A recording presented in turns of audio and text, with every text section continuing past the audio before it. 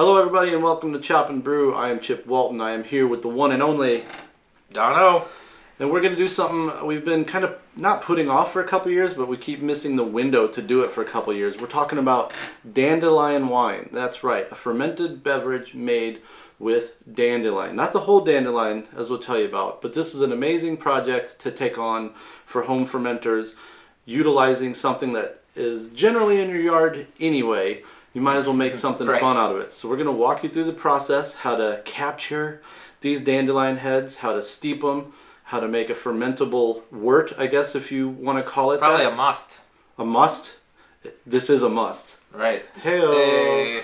Fermentation all the way through enjoying it and a little bit of family history, if nothing else. So join us. We're going to taste through three mine and then two extreme vintages of Donos. And uh, I think it's safe to say we're going to get a little lit on a Sunday afternoon here in St. Paul. Chop for chop. Brew for brew. Is that what we say?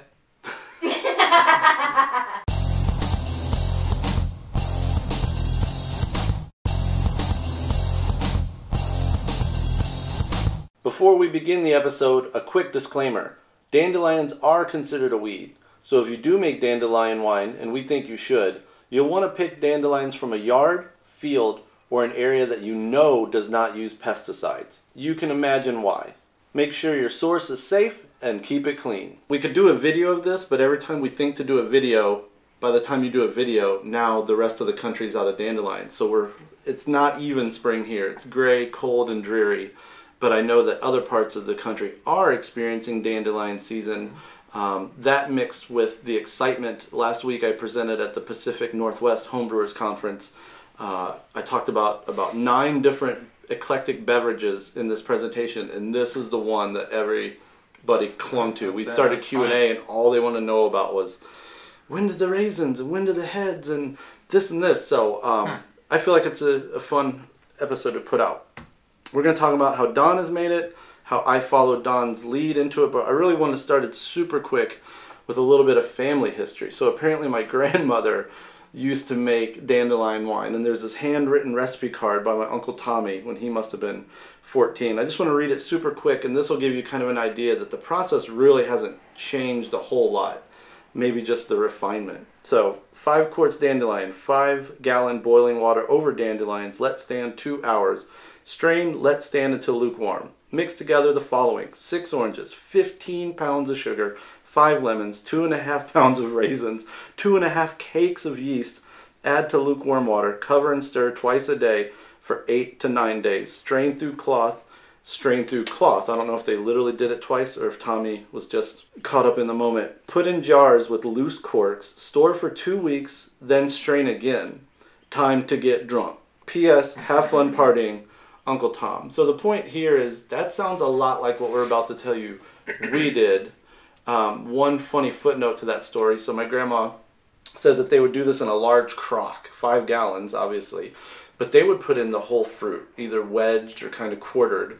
And at the end of this eight or nine day ferment, when they got together as a group of ladies to bottle it, they would like eat the fruit along the way. So lemon, orange. And she tells the story that they got a little bit too schnockered, I think maybe is the word she used, uh, one night where she had to like walk a friend home and that woman had to cancel a Boy Scout meeting due to the power of the uh, inoculated fruit. Country wines. I know. So, with that kind of setup about the basics, um, tell me a bit about why you did this and and who you turned to for information the first time you wanted to do it. This was in 2007, so I had been brewing beer for about six years at this point. I probably had uh, done some experimenting. I'd made a, probably a couple meads by that point, and it was something I'd heard about. And I don't do a lot of yard care, so I have dandelions, and I thought I wonder about this dandelion wine that I've heard about. I did not have a family history myself that I was aware of. No. I did find out later that my grandmother also used to do it, Okay. but it wasn't like this thing that I was even aware of. But I just went to the internet and did a lot of research, and what I found is there were any number of ways. Um, they had the use of dandelion flowers, use of some kind of sugar because you don't get any fermentable products from the flowers, Right. unlike when you do mead or if you're picking fruit and fermenting it, you get sugar out of that. But here you have to use sugar to get the ferment fermentable. But I, I just did a lot of reading and I let's say I found like four recipes or approaches that I kind of liked, and I had done enough brewing by then that I thought, okay, I like the idea of uh, steeping this. I I don't like the idea of you know this process, and I just took um, also the range. So you said she had 15 pounds of sugar, so that's three pounds per gallon, Right. and I came up with the ratio of 2.5 pounds per gallon. So that ratio is a little higher, but again, there's, there's just a range. So I just put together a recipe that I thought looked like it um, suited my my um, preferences. Before we get into them, you can find both of Don's recipes at his website, which we will put in a handy dandy lower third right here, and we'll also include them in the uh, episode description. So, um, yeah, tell us kind of the basics for 2007 and what you learned from it and what changed to 2008. So what you're gonna need is a good supply of dandelions. Now, um, you'll see some pictures here, but you're gonna want them when I believe whenever I think whenever they're gonna be most open and biggest, which Yeah. is um, probably when the sun is out. I'm guessing maybe a certain time of day. And what I found is I originally went to a park that I knew there was just tons and tons of flowers, but then when I ended up picking them all, I was really in like a, a 10 by 10 area in the park and I had all that I needed. So I found I you can get plenty of flowers probably just in a smaller area. But what you do is you're going to grab the flower and you're going to cut the right below the yellow part. Essentially you want the yellow part only. You can get some of the green that's on the bottom side of it. Yep. You don't want the stem, you don't want the leaves. So I would just I had a scissors and I would just kind of pull it up and clip it Yep. and I would just be putting them into a maybe a quart jar because that's kind of how you measure it is by volume. a quart jar of uh, dandelion heads is what you're going to be going for. My original recipe that I came up with was two to three quarts of dandelion flowers per gallon.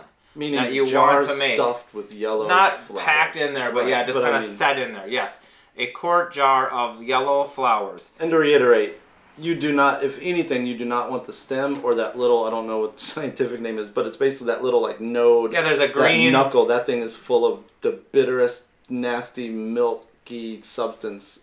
I know Yeah. from getting it on my hands and Yeah, I think a little bit of it. that. I you'll see it from my pictures and Chip's pictures, you'll see what you come up with. I don't think you have to overly worry about it if you just want to get as much of the yellow stuff as you can. And if they're you know bigger, then you're gonna fill up that quart jar faster. I did a two to three quarts was my ratio. I ended up using uh, exactly 2.5 quarts per gallon the first time I made it because I made two gallons and I used five quart jars of dandelion heads. Then what you do is you get your water. So um, I used about 1.5 gallons of water. My goal, original volume, total volume was two gallons. So I used one and a half gallons of water. I put the flowers in there, as your grandmother talks about, and as all the recipes I talked about. They zest oranges and lemons.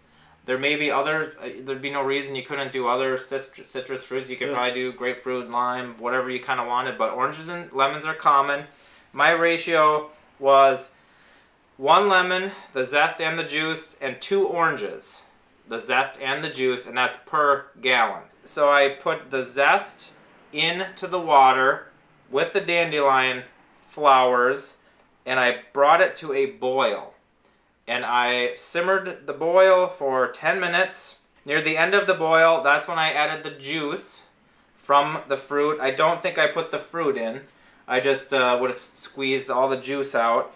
And the first time I made it, which is this, 2007, I let it sit like that for five hours.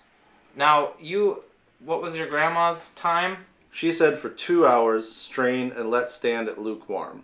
So, but the the contact time. What I'm getting at Yeah, is two hours. this is the range too. The contact time with the dandelion flowers is flexible. Yeah. She said two hours. I did five hours. The first day. The second year, I did two days. Yeah. So I took your cue. I think we did a full day. I think we did overnight. So the steeping, what you're going for mainly, you're getting some flavor, but you're also you're trying to extract color. You're getting color and flavor. And this is the only time that you're actually using the dandelions in the whole process. Yeah. It's just this original time. It's kind of like a tea, Yep. essentially. So after it sits for however long, then you're going to separate the flowers and I guess the zest out of the the the must. When I did it the first time, I started with 1.5 gallons of water. At this point, I had 1.2 gallons of water. Then I dissolved five pounds of sugar in the still warm water, and that brought the volume, interestingly enough, up to 1.9 gallons is what I wrote down. A lot of times when you add sugar, it doesn't really increase the volume, but maybe Yeah. that was like enough sugar Yeah. in that situation. I did top it off to around two gallons, and it cooled down to about 80, and then I pitched the yeast. So this all would have been on day one, is when I did it the first time. I pitched the yeast. I used 71B Narbonne yeast. Um, you're going to want to use some kind of a yeast that has a somewhat of a high alcohol tolerance if you are going to be aiming for this level of original gravity, which is can be 1100 or higher if you're using this much sugar that we're talking about. Your grandma's would have been even higher at three pounds per gallon. That would have been even higher original gravity. Boy Scout meeting cancellation worthy. So it has the fruit zest, it has the fruit juice, it has all the sugar, and it ferments. How, how much yeast you add, how your fermentation goes, the timing of, of all of their next step is going to probably vary. Yeah. But most of many of the recipes that I read, and this was a thing that I chose that I wanted to do, is I wanted to use golden raisins to give it some flavor, but also some body Yeah. and of course sweetness as well. So at the end, near the end of the fermentation, I had two pounds of golden raisins. I cut them up, them up to kind of kind of break them. the skin, and I put them into this the at this point it's wine because it's uh, been been fermenting, and I put them in there. But a week after I did it, I, it had been fermenting for about a week. I did the raisins. At the tail end of fermentation. Yeah, and then- in your second one, you did like I did and racked. You basically racked onto raisins as a secondary fermentation. Well, Or I probably just raisins. I probably just you, did you rack them onto the raisins? Mm-hmm. I think I just dumped them into my primary, but then at some point, Oh. I mean, I don't have all of. I do. I just Yeah. made a note racked a couple times to le- keep leaving sediment behind because that's something with these country wines that you'll see is they'll you know they'll get clearer and they'll have sediment and then you can rack again and you you may want to do that a couple of times. But then I, I I left it for eight months before I bottled it. on the raisins. No, Off. no, Okay. I'm not. I don't know if I have a record of how long it was on the raisins, but I would probably say. a we should couple weeks or reiterate here that there's you could put raisins in. You could probably do it in primary. I've explored so much more with fruit and primary. You can do it at the end, almost like a some people dry hop near terminal gravity versus Mm-hmm. dry hopping after. There's just there's really no way of doing it wrong. Mm-hmm. And at that point, it's got so much booze that I'm not too worried about contamination. And this one, the 2007 one, didn't ferment that low, so I added, ended up adding more yeast to try to get it down even more. It only got down to like in the upper 1030s, and then I didn't have to back sweeten it because it was still very sweet. Go to the next year I did it, I had a much better fermentation. Everything was pretty much the same. I did a slightly smaller volume, but I went for about the same gravity. I did change one key thing, and that's kind of interesting. If the I don't think the color is, it's a little bit lighter, but that probably has to do with this has maybe more residual sugar in it. But the so we talked about leaving it for five hours in the hot steep with the um, dandelions. I left it the second year for two days because that's another thing that I was reading about. That can vary greatly with how much you leave it, and I wasn't really sure how much dandelion character I was getting, and I just wanted to know if I could get more dandelion character. So let's go ahead and take Yeah. a sip of the 2008 and see if And this is the one that Elsa thought tasted the most dandelion lion like. It is floral. it maybe it does have a little bit more of something that's Mm-hmm. um, possibly from the, the the flowers. I mean, with your two, I just can't. Um, I can't not admit how much like mead they kind of taste Yeah. in body, Yeah. in sweetness, in aftertaste. I think even. that's probably a combination of the sugar and the raisins, which have also sugar, but g- they give it a, body. Now Mm-hmm. This one, so the second year I had a much better fermentation. That got down to 10, 12. That went all the way down. That probably is more like 14% alcohol. I may have maxed out the um, alcohol tolerance of that yeast strain. And this one, now that I did a little back and forth, this one's definitely more warming on the back of the throat. There's more alcohol in there. It's I, I don't know if one is, is better than the other one. Um, I was more happy with this fermentation yeah, for well, whatever reason. I really don't know why. I think maybe I put more yeast in right away, or more than one packet right away, instead of trying to get a, a stalled fermentation going. Okay. So that may have been a, a help of that. But I did. The, it's it's all the similar process. I did. I think I didn't add the raisins to this one until it was basically done fermenting. Which is what I did. Basically, a secondary fermentation addition, like you would rack onto fruit or something. Sure. So basically, I mean, that is it in a nutshell. When you read these country wine recipes for any sort of different fruit wine, dandelion wine, you will often see that they say, wait a year before bottling, wait a year before drinking. That's just some interesting, arbitrary amount of time that they Yeah. put in there. But Well, here just- we are, Yeah. 10 years. This one will be 10 years old in uh, Now. a couple months. Oh, I see what you're saying, down yeah, to the day. 2007 to 2017, and it drinks totally fine. I mean, there's no. It's not even like oxidized or anything. It's it just really ta- not. tastes just fine. So you you can have these around for a long time. Now you could also probably make them a little lower in alcohol and get to it sooner. Session dandelion wine. You had to go there. Table dandelion wine. Small.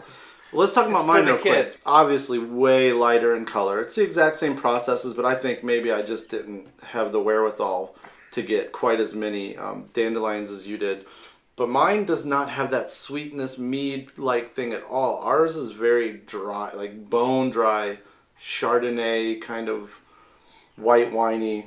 I almost feel like so I don't under I don't know might quite get- what happened, or maybe get- just the age. you might get more of a floral character yeah, I because feel like of you don't have as much of a body and a sweetness. Yeah. I'm guessing you didn't use as much sugar would be my guess, um, just because you know even though this one got down very low in final gravity, fairly low, especially considering it was Yeah. 1.119, 1119 I don't have a lot of notes, which is very high. so I'm not sure So- what's going on. and he doesn't have the notes on how, of what he As used always. or what the gravity was. But I did it exactly like your 08 kind of recipe. So it, was, it is weird that it's that much lighter. But who knows? But it's a different. It's just a, it's another result. It's a Yeah. different way to get a dandelion wine, Yeah. and and dandelions beverage. are in themselves a bittering agent, according to sacred and herbal healing beers. So it's kind of interesting that this one to me is way more bitter. Maybe there was just a sugar balance. I mean that's got to be part of it. Yeah. It's interesting in this book, he points out that dandelions are, like I just said, bitter, stimulates digestion. Um, clinical trials have proven dandelion to be effective in treating pneumonia, bronchitis, and upper respiratory infections. Uh, as a tea, it has calming effects, almost a slight slash minimal narcotic effect, and it's got a lot of vitamins: vitamin C, zinc, vitamin A, potassium. So clearly, that's different when you eat it raw. That would be the you ferment leaves, it probably. through- You would Um, eat the flowers, would you? You would eat the leaves, wouldn't you? I don't know. I assumed he was talking about the flower, but he Hmm. could be talking about the leaves. Speaking of the leaves, a really quick chop element to this is when we were picking all these, we had this idea to like, let's do the dandelion green. So I have a couple pictures of us. We picked a bunch of dandelion greens, like from basically from the ground up to the flower, washed those off in a sink, got all the dirt off of them. We fried up a pan of really good bacon. Um, and after that was done, we moved that aside. And then we deglazed that pan with apple cider vinegar, a little bit of beer, of course, and a little bit of brown sugar. got that kind of to where it had basically like a saute juice in it. Threw those greens in, wilted them, served them with the bacon on top, and it was an amazing springtime dish. Clearly bitter, so maybe he is talking about the greens because Yeah. it was a very bitter dish, reminiscent of like arugula or something like that. But Okay. since we had also drowned it in brown sugar and apple Right. cider vinegar, it had a little Yeah.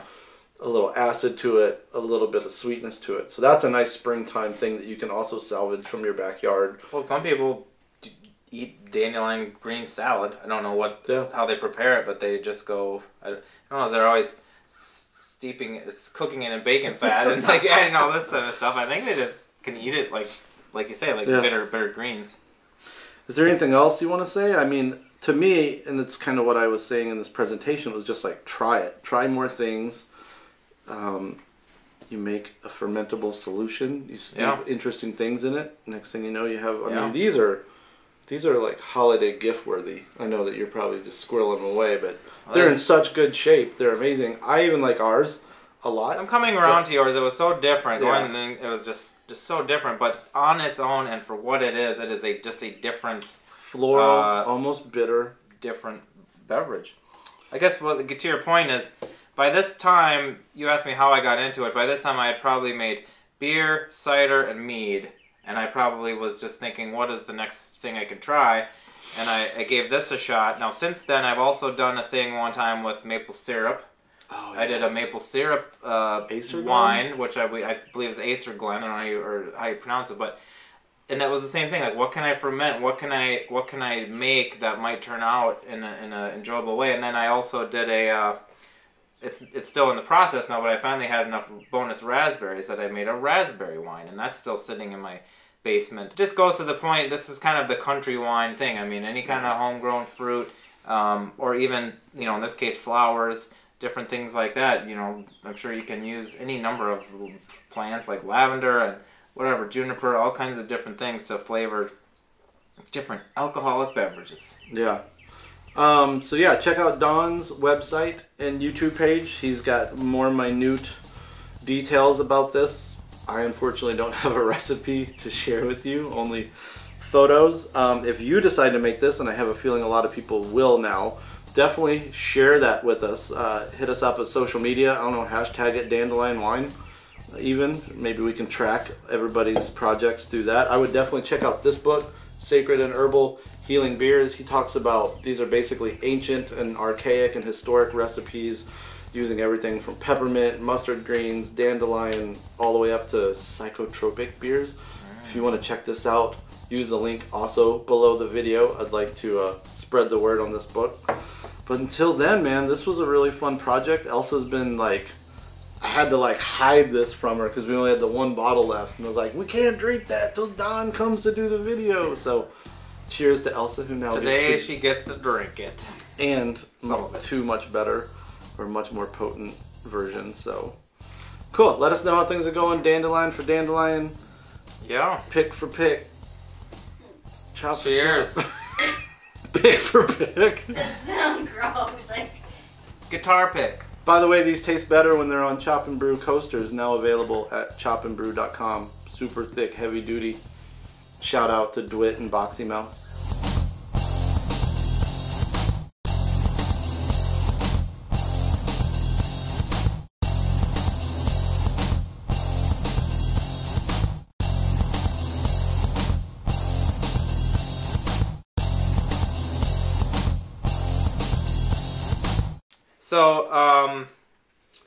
After, so by that time, it's, excuse me, let me get you start that again.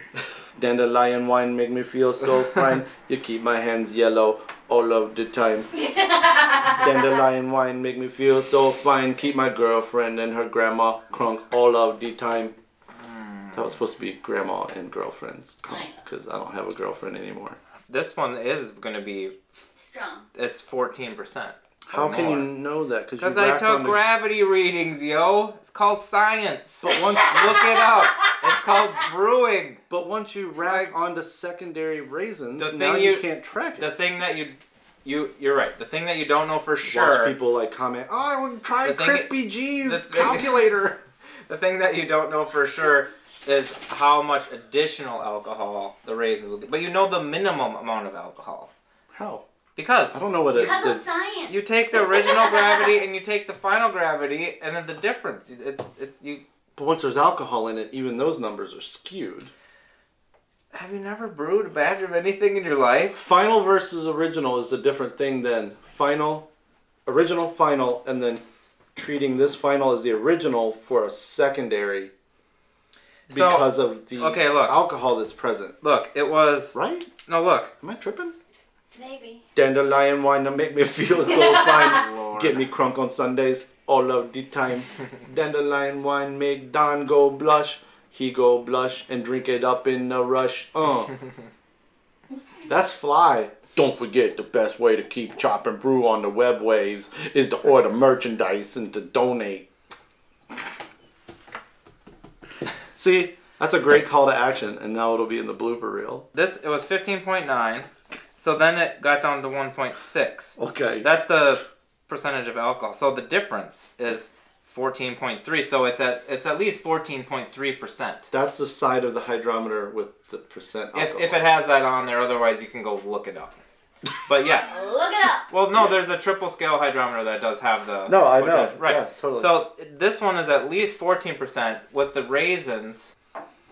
No, I'm singing. That's why put. What? You know what I'm saying? What the hell is he shivering about? He's cold. Well, then go inside. He's You have 14 beds inside, and they're not all gonna want to be out here with you guys. But it's cold. Dandelion wine make Don go blush. He go blush and drink it up in a rush. Uh, that's fly. How's that for a blooper reel? Okay.